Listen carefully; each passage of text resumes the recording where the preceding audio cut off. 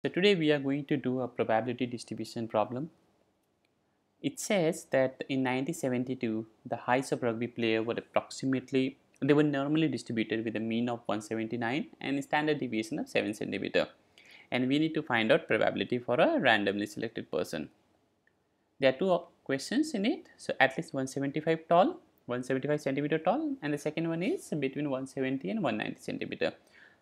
So both these questions are of cumulative distribution and the question says it is normally distributed. So it's a problem that we'll solve using NCD.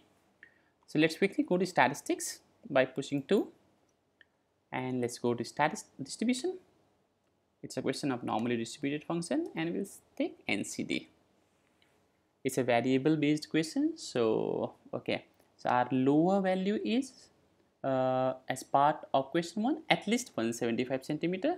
So our lower randomly selected value is 175. Upper value let's keep a very big upper number okay. Sigma is given as uh, 7 and mu is also given as 179 okay we have put in these values and after that we'll just go down and we'll execute it f1 so we see probability calculated is for normal CD is 0 0.716 0 0.716 if you would like to plot graph of it you can quickly go back and you can hit f6 to draw the graph of it so that if you would like to trace it at any other value you can always do that. Similarly if we solve part 2 of it like between 170 and 190 centimeter. Let's again go to distribution and normal distribution NCD and here the lower value would be 170 and the upper value would be 190 the rest of the values would remain the same. Just go in and execute.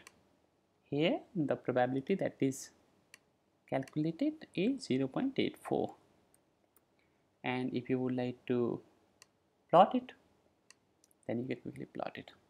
So it's very simple. Uh, just try to do some more questions so that it goes into your brain and you don't feel any problem while in examination. All right. Thank you very much. Take care. Bye bye